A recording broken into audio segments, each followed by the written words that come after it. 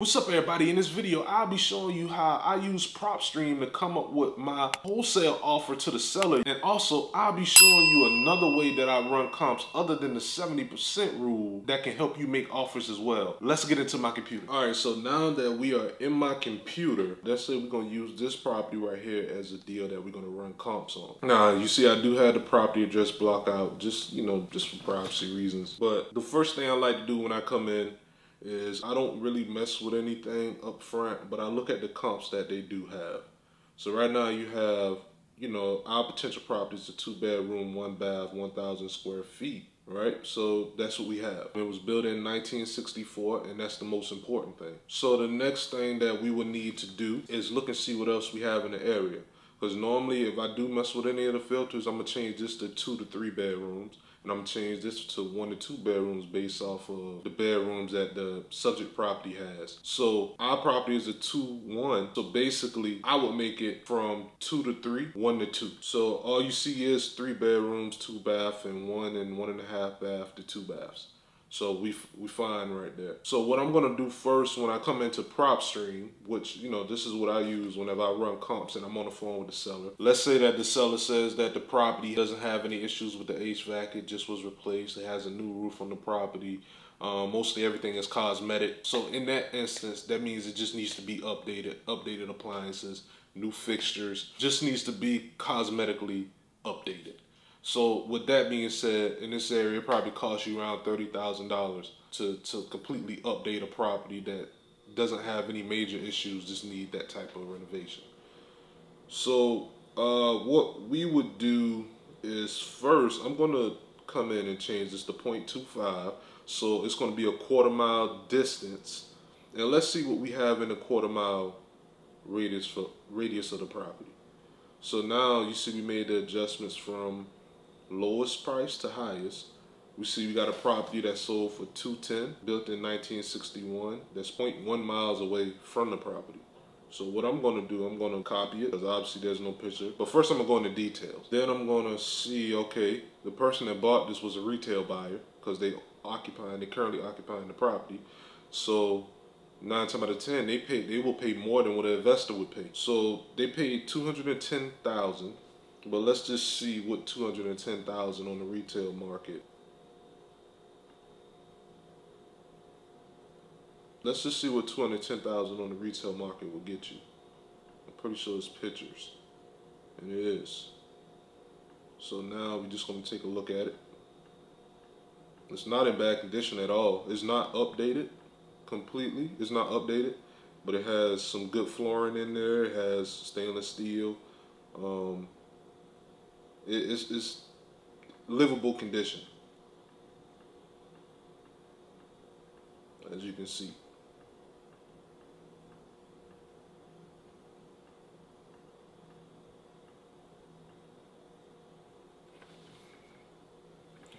All right, so we see that's what 210,000 gets you. So obviously that's not the top of the market. So we need to find a comp that's going to be a comp that will be in the top of the market because we're going to use the 70% rule. So we find another property that's on the same street as our property. And it's a three bedroom, one and a half bath. So it has one bed more and a half bath more. And it's a little bit bigger because ours is a thousand square feet. So let's see what this actually gets you. Okay, it's not updated, but it's still livable you put a tenant in here. So now that I looked at, now that I'm looking at this, this property sold at 190, right? So with a thousand square feet, ours would sell less than that if it was in that condition. So 175 is the next comp that sold.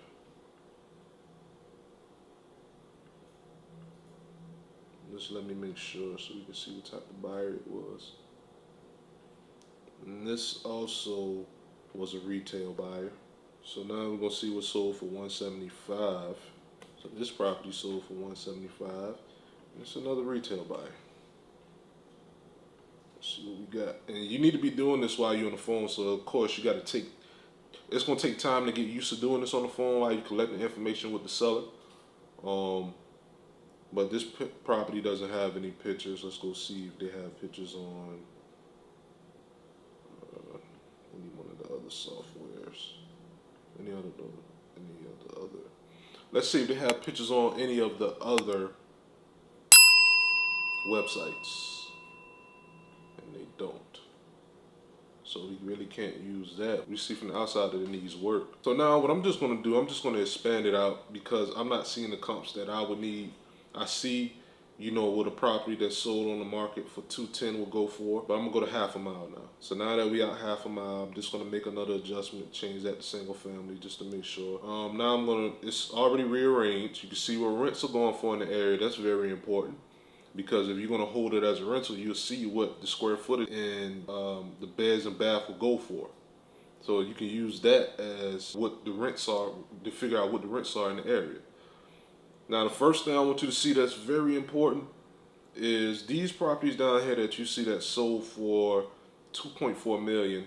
They're not actually selling for that amount, but that's somebody that has a large loan amount, and which is nine times out of ten a hedge fund buyer and you need to figure out who those hedge fund buyers are. So basically, I guarantee this person has a lot of properties, right?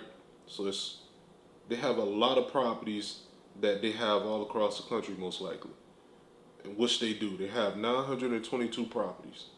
So these are the people that you want to be selling your deals to. These are the buyers that you want to sell your deals to because they're going to pay more than somebody that is actually using the 70% rule so you need to go after these type of buyers. And guess what? Most of the time you can sell mostly all your deals to these buyers because they're willing to buy whatever you send to them as long as it's a deal still for them. So just throwing that out there.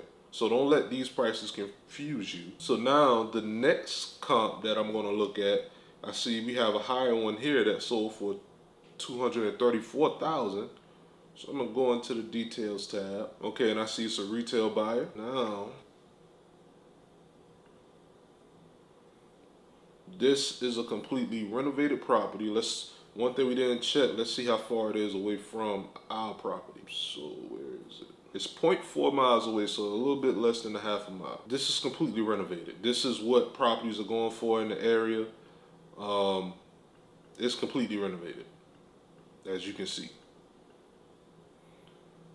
So we know in the similar square footage, similar beds and bath, that a property in this particular area that's two years older, that's a little bit bigger, one bedroom more, half a bath more, will sell for $234,000. Now, don't just stop there. We have a cash comp here. That's what the green stand for. It stands for cash comp. This cash comp sold for $231,500.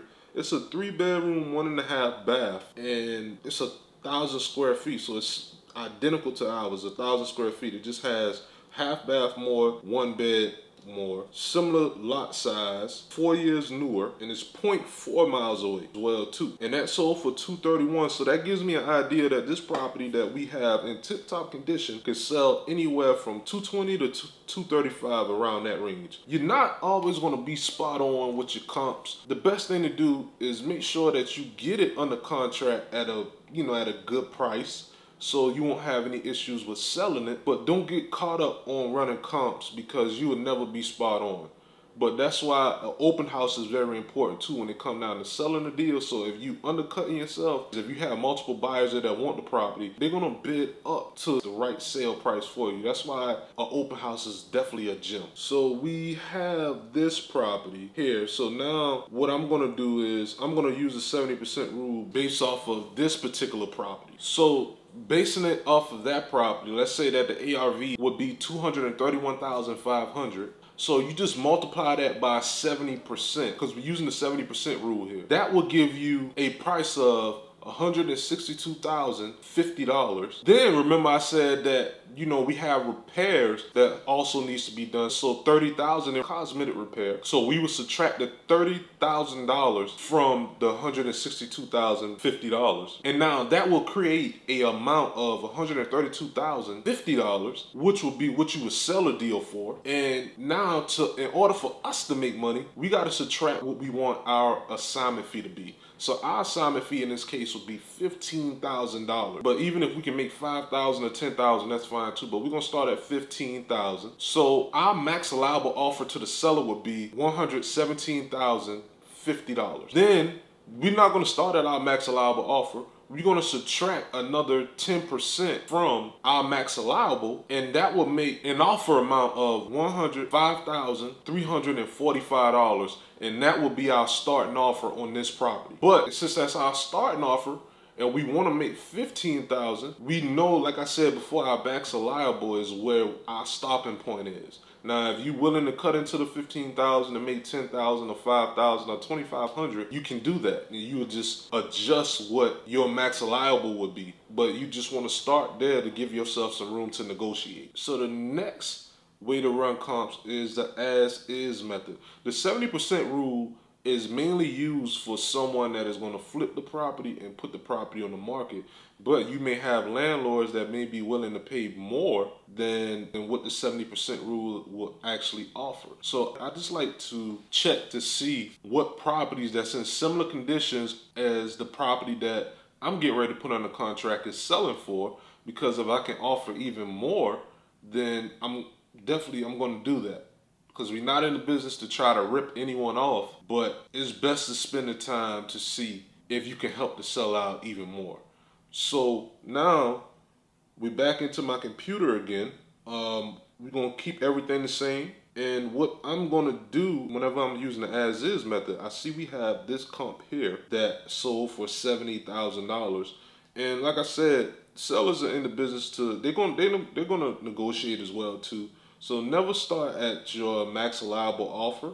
So I would actually use this comp, even if this comp doesn't look like the property that we're going after, I would actually use this comp as a comp that is going to help set my starting offer with the seller. Because then if I'm offering more than what this property is actually going for, you have a better chance of getting a price out of the seller if the seller doesn't want to give you a price. And it definitely will help give you more negotiating room.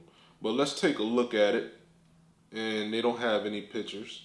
Um, this property, you can tell it needs a lot of work and it's sold for $70,000, right? So we know that the property will sell for more than that because the property only has cosmetic issues that we have. But we're gonna look at this comp here. It's a three bedroom, one bath, and it's 1,000 square feet and it's 0.4 miles away from our property. So it's sold for 115,000. This is what an as is situation comes in. So what I'm gonna do, I'm gonna take a look at this property. I'm gonna see what it looks like. All right, and I see that uh, investor bought it.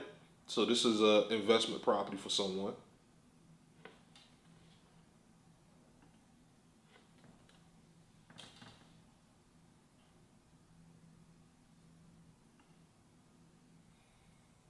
Doesn't have any pictures that I can see. Let's see if this has pictures.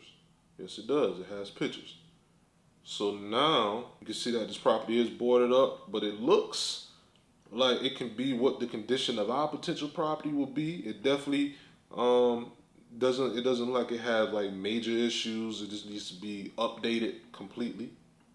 All right, it just like it needs to be updated. So we can say, all right, this property sold for $115,000. So anything less than that will be profit to us because this property is in similar condition to ours and this is a as is comp. So if you're on the phone, you got to be quick whenever you're talking to the seller with coming up with offers. So if I want to make 15,000, my starting offer to the seller will be 100,000 and I'm not to start at 100,000. What I'm to do, I'm to take another 10% from that, which would be another 10,000. So my starting offer to the seller will be $90,000 on this particular property. But I know that my MAO will be 100,000 but if I want to adjust my assignment fee to 10000 then I know I'll be able to offer to sell a little bit more. But that's pretty much how I run comps. You may have people run comps other ways, but like I said before, when it come down to this, if you do an open house, if you're not sure if you undercutting yourself on a deal, when you have an open house and you have multiple buyers show up, they're gonna start outbidding each other. So it's gonna get to a point where they're gonna say, okay, I can't offer no more. The next buyer gonna say, hey, I can't offer no more. And that's what the property actually is gonna sell for if you got multiple buyers out there. That's why it's not good to always just say, hey, this is what I want for it. I'm selling this amount. Always be open to accept the highest and best offer. Now, if you do have hedge funds, hedge funds gonna be willing to pay more anyway. So that's why I said early in the video, it's very important to pay attention to those comps that are selling for $2.2 million because they have a lot of money that they're trying to disperse out into the market. Now, feel free to check out my wholesale playlist here, and I'll see you next time.